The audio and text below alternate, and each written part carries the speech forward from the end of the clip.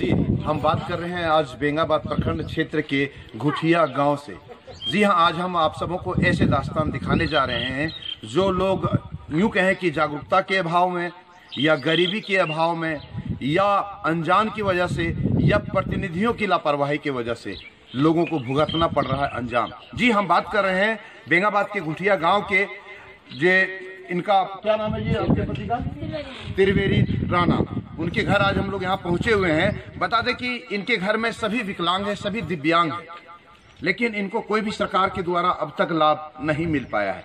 इन्होंने कई जनप्रतिनिधियों को, पदाधिकारियों को, सब जगह जाके दरवाज़ा खटखटा चुका है, लेकिन इनको अब तक लाभ नहीं मिल पा रहा है। राशन चावल मिला आपको आइए आज हम उन्हीं से बात करते हैं उसी महिला से बात करते हैं कि आखिर सच क्या है आखिर बात क्या है? राशन मिल ले। राशन मिल ले। अच्छा तो इन लोगों को कुछ मिल रहा है? नहीं कुछ नहीं। कहाँ कहाँ गए? कहीं गए थे कि मिला सर्टिफिकेट के वहाँ सदर विकलांग का सर्टिफिकेट बना हुआ है? हाँ आप भी विकलांग हैं? हाँ। और ये भी? ये तो है। अच्छा एक जो इनका पुत्र है वो बोल नहीं सकता है एक जो इनका बेटा है, दिव्यांग, बेटी है, दिव्यांग है, और इनकी जो माँ है, ये भी दिव्यांग है। लेकिन अब तक कोई भी सरकारी लाभ इन लोगों को नहीं मिल पाया है। देख सकते हैं इनका टूटा हुआ आशियाना, टूटा हुआ इस घर में रह करके गुजर बसर कर अपनी ज़िंदगी को जीवन यापन कर रहा है।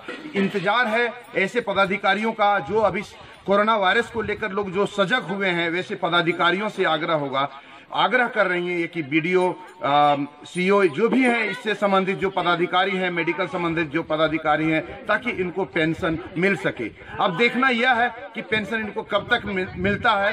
फ़िलहाल जगन्नाथ हमारा नाम है, लोगों को जगाना हमारा काम है, बताना हमारा काम है। हमने अपने तरफ़ से कर दिया है। अब देखना यह है कि प्रतिनिधि कब जागते हैं, पदाधिकारी कब जागते हैं और कब इस दिव्यांग परिवार को मिलता है इंसाफ। ये तो आने वाला समय ही बताएगा, इंतज़ार है इन लोगों का, पदाधिकारियों का, कि इनको लाभ मिल सके। बने रहिए बीएनबी के साथ, क्योंकि बीएनबी सच है तो बोलेगा, जय हो, जय हिंद सत्यमेव जयते वंदे मातरम। Thank you